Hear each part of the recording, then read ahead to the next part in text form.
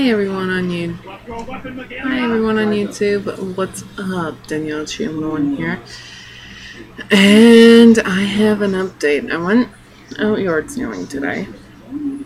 I found a few things, nothing much really. Uh, but I did find something very interesting at one yard sale. Now, you might not believe me, but this is actually pretty true. While I was there, I was going through everything. I found something that's sort of out of the ordinary. Okay, well, here it is. Yeah. Um, now, I'm not kidding here. This is a vintage Breyer horse, a traditional. Um, I can tell because well, my camera quality is kind of crappy. But right there, you can see it. That does say Breyer Reeves on it. So this is an old traditional, very vintage. Uh, it's a it's a female, little mare.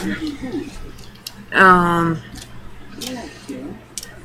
the only thing is, I haven't thought of a name for this yet. Um, I don't plan on customizing her. She's just too pretty to customize. Plus, I don't want to ruin a vintage horse.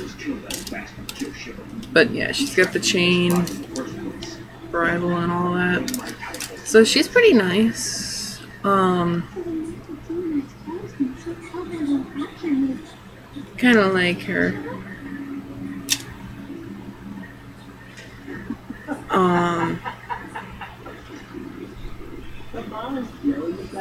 so yeah, there's that. I love him. So, just listen to me talk. It shouldn't be a problem for you guys because you listen to me talk when I make a video.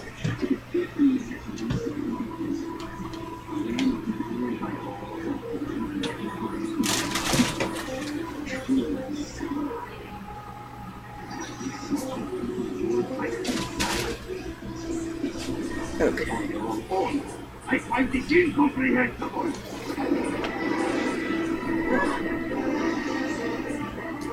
I wonder if you really believe in. I think the day will come when you too will understand. Now where were we, Roscoe? Yeah, I had to get my barn reset. Yes, I have a barn. I can show it.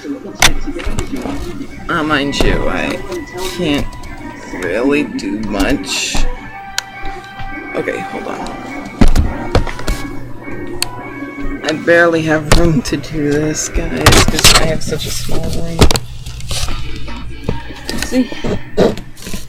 This is practically the barn. There's checks. You see? There's checks. Haley's in her stall. Bury the. There's Lucifer. You can't see. I have a paddock. It's uh, around my bed here. You didn't see that? I'm watching